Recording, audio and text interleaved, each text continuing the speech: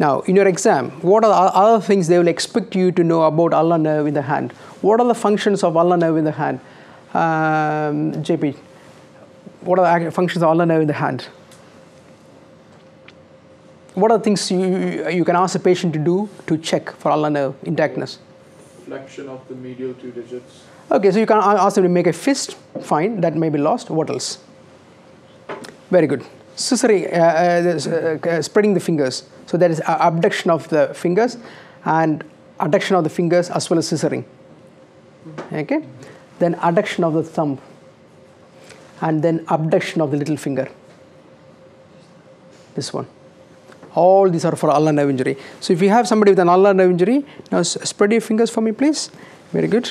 And push, touch my pen with uh, the little finger. Yes, yes. So that is lost in ulnar nerve injury. And that's uh, then you do the Froment sign, uh, which is um, giving a card between the thumb and the index finger. Put it, put it between thumb and the index finger. Okay, keep it down. Okay, um, and then you pull the card out. So if the patient is got an ulnar nerve injury, the adductor pollicis is affected and the patient will be unable to hold the card uh, uh, and but they will try to hold the card by flexing the IP joint. So that's your pull it out now. Leave it. Leave it. Yeah. So if the finger finger is in that position, that's a positive Froment sign. Okay. That's a classical of ulnar nerve injury, and you're testing for adductor pollicis. Okay. Back to you. What's the mechanism of claw hand? So if it's a distal, if it's a proximal injury, you get claw hand. If it's distal, you don't because you've got a compensation. So it's because if it's a proximal injury, you get an opposed. Uh,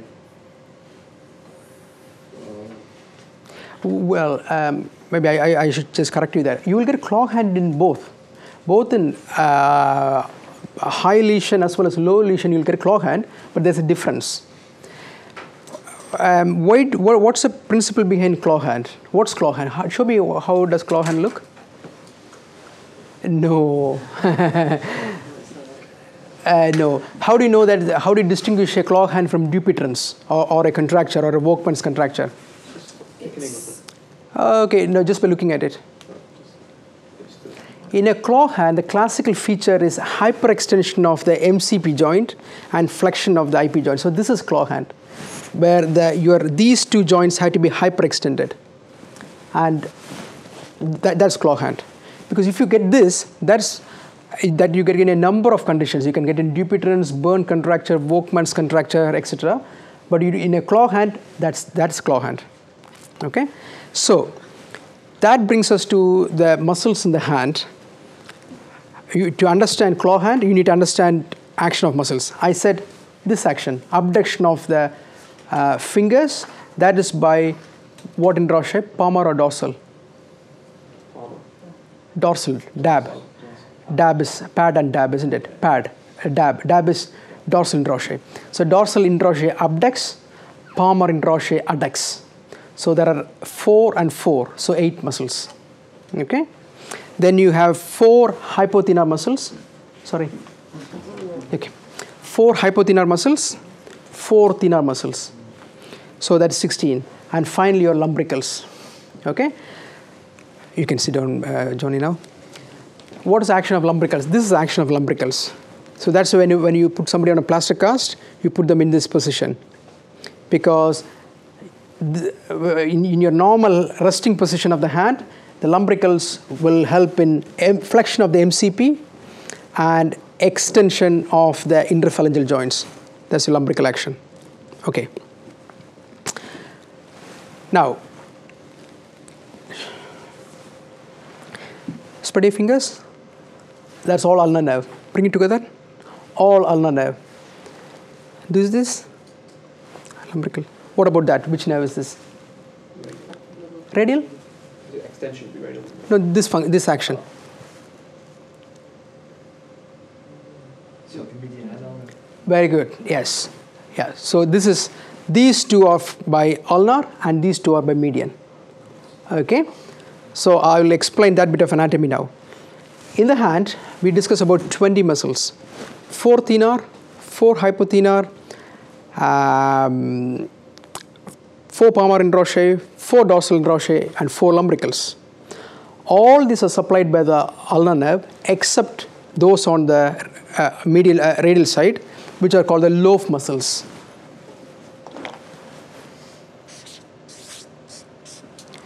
So the loaf is supplied by the ulnar nerve, uh, sorry median nerve. L stands for lateral two lumbricals, opponens pollicis, abductor pollicis brevis and flexor pollicis brevis. These four are supplied, well, these four means these five, the lateral two lumbricals, opponens pollicis, abductor pollicis brevis, flexor pollicis. These are supplied by the median nerve, everything else is by ulnar. So these two are by this action, these two are by median, these two are by ulnar. So what happens? If you have an ulnar nerve injury, these two are spared. So that's why you get the clawing. So what happens in clawing? If you have your hand in this position, when you have a nerve injury, the opposite of that happens. So the opposite will be hyperextension of the MCP and flexion of the interphalangeal joint. If these two are not affected, you'll get clawing only in those two. Okay? So thi- this is your claw hand. Now what you said was high lesion and low lesion. If you have a high ulnar nerve injury, then these two FDPs are also affected, aren't they? Because the FDP is supplied by the ulnar nerve quite higher up here. So your clawing will be less because though they are also affected, the, the hand is clawed less. But if it is a low injury, this nerve is intact, so it is pulling it more. Okay, so that's your ulnar nerve paradox. If you have a high lesion, the clawing is less. If you have a low lesion here, the clawing is more. Okay, so that's your ulnar nerve injury, ulnar nerve paradox. So if you got anything related to these in your EMQs, usually high lesion, low lesion. They like high lesion for ulnar nerve and, and radial nerve because it's got quite a bit of clinical significance. Um, did you understand the clawing concept? Okay, and the high lesion, the low lesion. Okay, so that's all you need to know about the hand. At this level, you don't have to know about the uh, arches, you don't have to know about the pulley system uh, or, or the, uh, the other detailed anatomy. If you want to ask me anything at this point of what you have revised in another you know, MCQs, if you want to ask me anything at this point, I can I can answer you. I, but I'm not going into any more detailed hand anatomy because that will be too much for you. Ha, is anybody wanting to know about pulleys? No, I don't think so. Uh, you need to know where the origin, uh, where is the insertion of the uh, FDP and FDS. Where does the FDP insert? Flexor digitorum profundus insert base of the distal phalanx and FDS so, uh, no. Because the, FDS has got two um, two strands coming off. So the FDP and FDS comes here. FDS splits into two.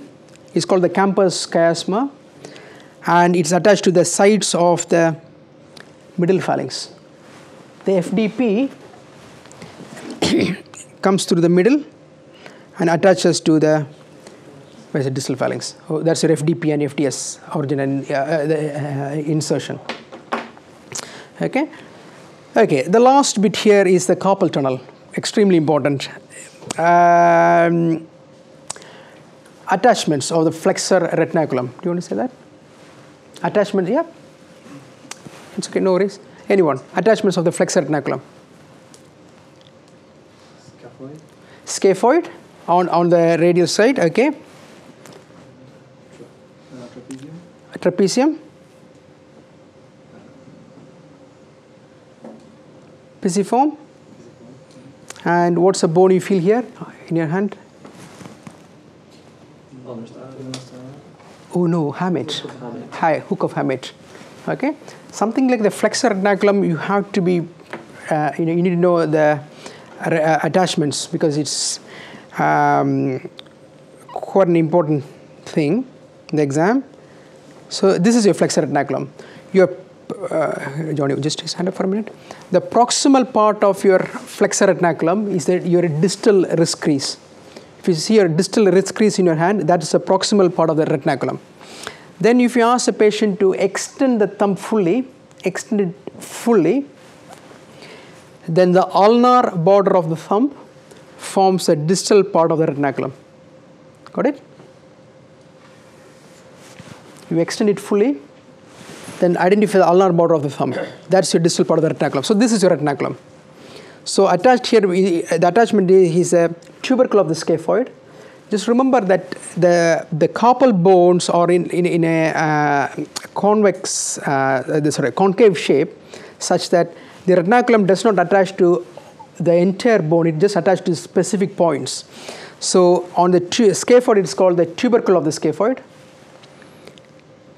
Pisiform, the pisiform is a small bone, so it attaches to the pisiform. Here it is a hook of the hamate, not the entire ham hamate, hook of the hamate, and here it's a ridge of the trapezium. So this is where the attachment is. Okay. So if you feel the bony prominence here, that is your hook of hamate. Okay. Structures going under the retinaculum. It's very important. So you have the median nerve, then you have the FDP and the FDS to these fingers, so nine of the, eight of them, and the FPL. So 10 structures. So 10 structures go under the retinaculum, and what goes over the retinaculum? Anyone? You know what? The flexor carpi ulnaris. Uh, what did you say? Is that what you're saying? Or radialis? No. They, you know, some of the books do say that, but it's not strictly accurate. The flexor carpi radialis does not go under or over the retinaculum because it just attaches to the base of the second metacarpal. So it is not anything to do with the retinaculum. Some, some, yeah, palmaris longus go, goes over the retinaculum. What else? Ulnar nerve, ulnar artery, anything else?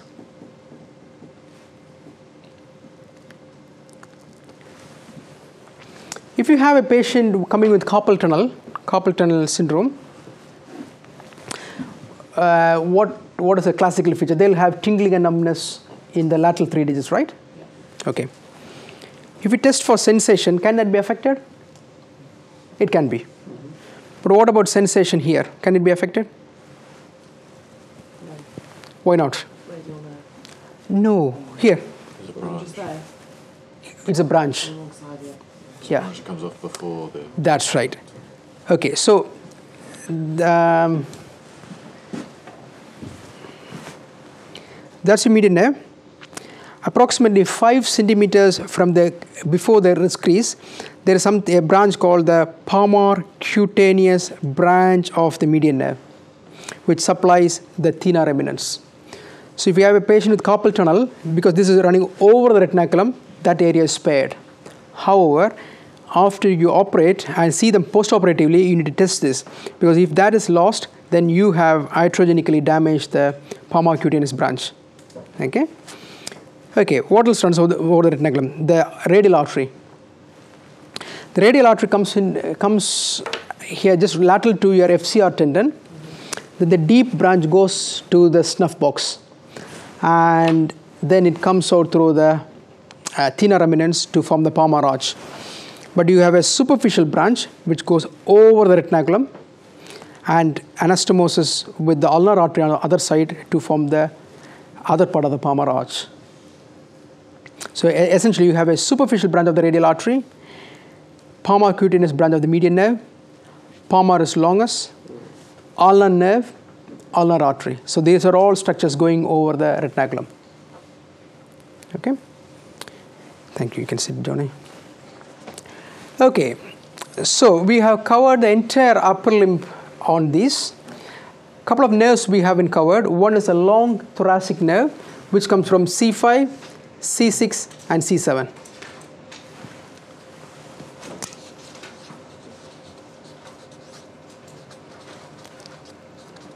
So root value C5, C6, C7. It lies in the mid axillary line in the chest uh, uh, or the thorax and it can be damaged when you put a chest drain or do any surgery in the um, axillary region. So that's long thoracic. There are a couple of small nerves just for completion. You have the nerve to subclavius from there and the nerve to rhomboid. But I don't think you need to know for the part A. You just need to, if at all you're asked, you just need to get, get in your head that it has nothing to do with the cords. It is just an isolated nerve coming off the root. Nerve to subclavius and the nerve to uh, rhomboid. Okay. You just completed your first video of the world's best medical exam preparation. Lecturio brings the knowledge of worldwide leading medical experts and teaching award winners to your PC, tablet, or smartphone. Prepare yourself and check your progress with thousands of quiz questions customized to USMLE standards. And the very best, you can get in touch with our medical experts personally. Visit lecturio.com now and continue with the most inspiring medical education around the globe, anytime, anywhere.